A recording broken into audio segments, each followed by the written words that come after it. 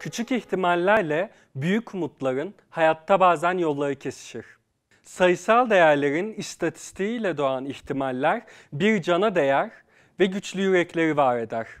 Bugün dünyada bizlerle aynı anda aynı şarkıyı dinleyen insanların varlığı bile içimizi ısıtan bir ihtimalken iki insanın kök hücrelerinin birbirine uyması sayısal değerlerin çok ötesinde aynı gökyüzü altında bir hayatı ifade eder.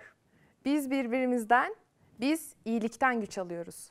Bir şarkıyı beraber söylediğimizde daha güzel, iyilik için beraber konuştuğumuzda ise sesimizin daha yüksek çıkacağına inanıyoruz. Yolculuğumuz bu sefer kökten gelen bir iyilik için.